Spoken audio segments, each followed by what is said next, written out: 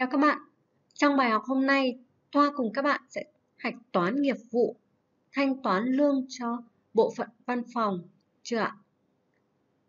Thì các bạn cùng mở đến trang số 72 và 73 của bộ chứng từ ạ. Tại trang số 72 là bảng tính lương tháng 1 năm 2019 của bộ phận văn phòng và trang số 73 là một phiếu chi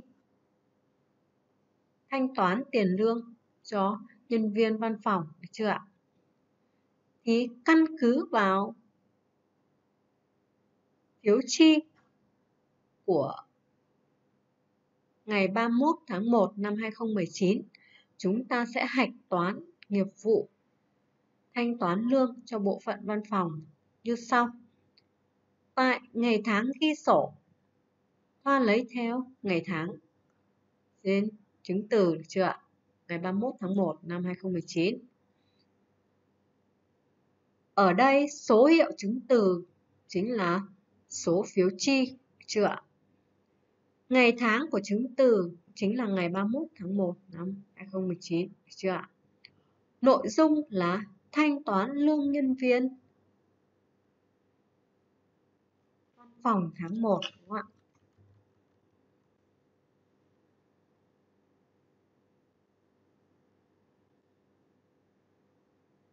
Chưa ạ?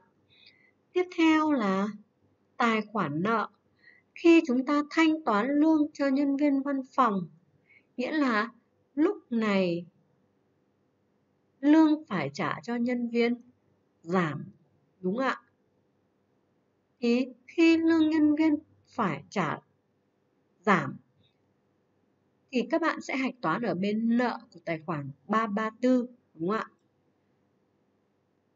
Số tiền phát sinh nợ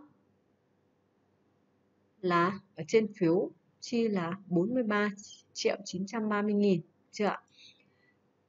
Thì các bạn, đây là, các bạn sẽ, đây Thoa sẽ lưu ý cho các bạn một điều để các bạn hiểu rõ ở trên bảng lương. Các bạn quay lại trang số 72 của bộ chứng từ. Các bạn nhìn xem số 43 triệu 930 nghìn có phải chính là số tiền trên cột, số tiền thực lĩnh không ạ? Đúng ạ. Chính là cột thực lĩnh của nhân viên, chứ không phải là số tiền ở cột tổng cộng ở cột tổng lương, đúng không ạ? Ở cột tổng lương là bao gồm cả tiền chưa trích bảo hiểm xã hội, bảo hiểm y tế và bảo hiểm thất nghiệp, đúng không ạ? Chính vì vậy mà ở bút toán tính lương phải trả cho nhân viên, các bạn sẽ lấy theo cột tổng lương và sau khi trích bảo hiểm xã hội, bảo hiểm y tế, bảo hiểm thất nghiệp thì còn lại số tiền mà nhân viên thực lĩnh được chưa ạ? Bạn hiểu chỗ này chưa ạ?